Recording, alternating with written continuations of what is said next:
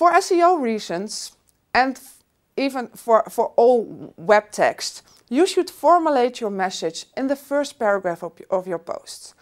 In printed text, you often start off with a teaser. You, want, you, you, you won't give away the topic of your text just yet. You want people to start reading your article entirely. For web text, you should really do it the other way around. You should start with, with your message and tell people what this post or this text is going to be about.